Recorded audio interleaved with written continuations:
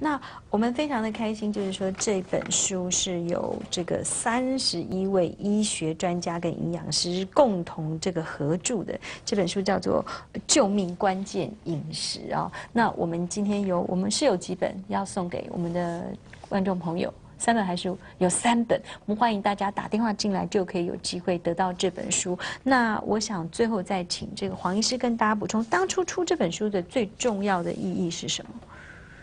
好的，呃，因为我们会发现哈，呃，非常多的大众，嗯哈，对饮食老是存在了一些迷思，包括我们今天所提到的哈，会以为你要保健骨骼就必须要多喝牛奶，是，或者是痛风症的人就不敢吃豆类。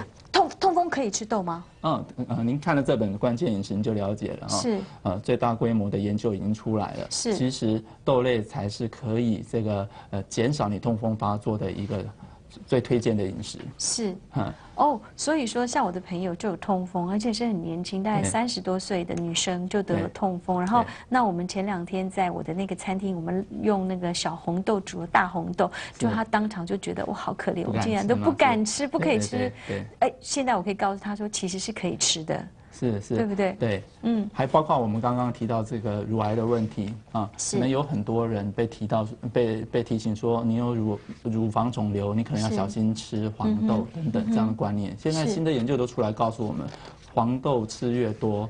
啊，对女性来讲是一种最好的保障。是，你还没有得乳癌的人，你可以减少乳癌的发生；已经得到的人，啊，不管你有没有雌激素的接受体，啊，有没有接受化学治疗，嗯，越吃越可以减少复发，越可以减少死亡率。而且，其实女性到了这个更年期的时候，其实对荷尔蒙的这个天然的荷尔蒙是非常需要的。对对，所以，我我们就是呃，用这最新的医学实证哈，是来帮助国人打破过去很多的饮食迷思哈，是希望大家可以找到更大的这个呃健康来，可以离病最远啊。那这一切的关键呢，其实就是饮食。是是，书名才叫做关键饮食。关键饮食，而且是救命。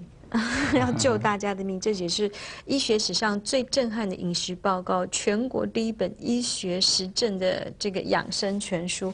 其实，在后面的，这应该算它的附录。我们有看到这个目前这个人工养殖动物的一些方式啊。其实，我觉得在我们节目当中，我们也介绍过非常多次啊。就是说我我自己看，我其实很受感动的一点是说，我觉得呃。凡是生活在这个世界上的任何一个生物，其实都应该是要快乐的生活。就像我们人如果有压力或什么的话，我们的脑嗯，就是说你基本上你你的你的血液或者什么散发出来都是一种毒素。而我相信，小猪是用这样子的方式被被养的话，它不会散发出这个快乐的分多精的。